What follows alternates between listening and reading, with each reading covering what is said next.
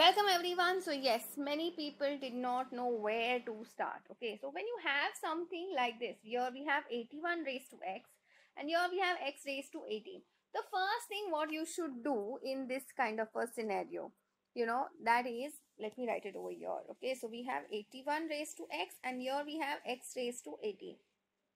So in that case, first we'll take the numbers on one side. So basically we are trying to take the 18th root on both sides.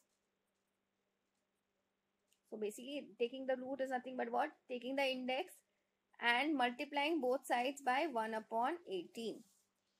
Okay. So here what will happen is you are this 18 and 18 gets cancelled and I'm left with what 81 raised to 1 upon 18 into x.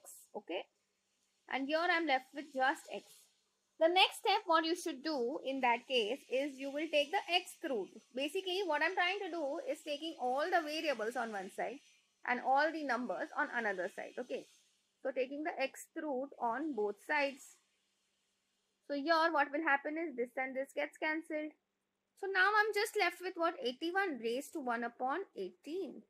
And here I'm left with x raised to 1 upon x. Okay.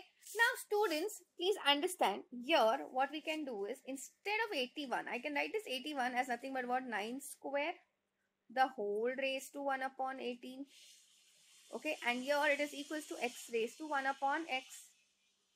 Okay.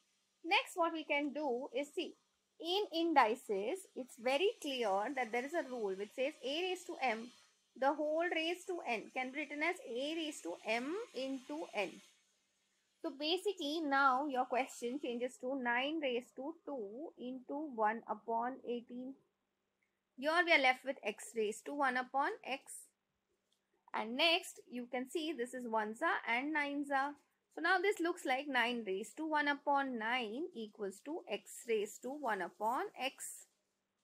So now from here I can say therefore value of x is nothing but what? Just 9. Okay. So now let's try and put this over here. Okay. So if I say that basically this is what 9 raised to 18. Okay. And we want to make sure that this results as nothing but what 81 raised to 9.